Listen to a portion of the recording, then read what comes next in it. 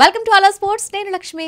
Delhi Capitals Royal Challengers Bengaluru మధ్య నిన్న జరిగినటువంటి మ్యాచ్లో ఆసక్తికరమైన సంఘటన చోటు చేసుకుంది. అయితే ఈ మ్యాచ్ ముగిసిన తరువాత ఇద్దరు స్టార్ దిగ్గజాలు విరాట్ కోహ్లీ గంగూలీ కరచాలనం చేసుకుంటారా లేదా అని అభిమానులు ఆసక్తిగా చూశారు. ఆ క్రమంలో విరాట్ కోహ్లీ సౌరవ్ గంగూలీతో ఎట్టకేలకు కరచాలనం చేశాడు. దీంతో వీరి మధ్య ఉన్నటువంటి వివాదం శనివారంతో ముగిసింది అని పలువురు అభిప్రాయాన్ని వ్యక్తం చేస్తున్నారు. దీంతో సౌరవ్ ఫ్యాన్స్తో పాటుగా ఇటు కోహ్లీ అభిమానులు కూడా సంతోషాన్ని వ్యక్తం చేస్తున్నారు. అయితే ఏప్రిల్ పదిహేనున ఈ ఇరు జట్ల మధ్య గేమ్ ముగిసిన తర్వాత కోహ్లీ గంగూలీ ఒకరినొకరు కూడా పలకరించుకోలేదు. ఆ క్రమంలో విరాట్ గంగూలీకి కరచాలనమిచ్చేందుకు విముఖత చూపారు. ఈ క్రమంలో వెలుగులోకి వచ్చినటువంటి వీడియో వివాదాస్పదమైంది. ఆ సంఘటన తరువాత ఇద్దరు కూడా ఇన్స్టాగ్రామ్లో ఒకరినొకరు అన్ఫాలో కూడా చేసుకోవడం చర్చనీయాంశంగా మారింది. ఇండియన్ ప్రీమియర్ లీగ్లో రాయల్ ఛాలెంజర్స్ బెంగళూరు పై ఢిల్లీ క్యాపిటల్స్ ఏడు వికెట్ల తేడాతో భారీ విజయాన్ని సాధించింది. ఈ మ్యాచ్లో విరాట్ కోహ్లీ చేయడం కోహ్లీ ఏడు వేల పరుగుల మైల్ రైడ్ని సాధించారు. మహిపాల్ లోమ్రోర్ కెరీర్లో అత్యుత్తమమైనటువంటి